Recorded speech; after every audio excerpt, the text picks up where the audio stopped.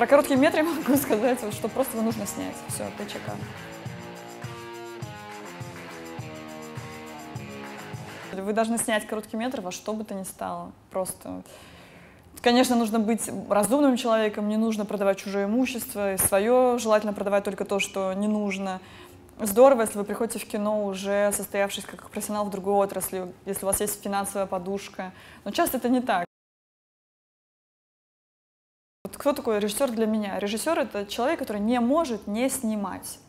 Если вы можете не снимать, то не нужно не нужно вот заставлять себя идти в эту очень-очень сложную индустрию. Это даже не индустрия, это образ жизни. По опыту я вижу, что это часто не, не, ну, не, не происходит какого-то взлета и трамплина там, с первых пяти попыток. Вот, вот, может быть, с 50 что-то произойдет. И, может быть, вы уже к этому моменту, и, ну, не то чтобы отчаетесь, но когда произойдет первый успех, часто я вижу, что люди воспринимают его уже как должное, и им не сносят крышу, потому что у них до этого было очень-очень много поражений.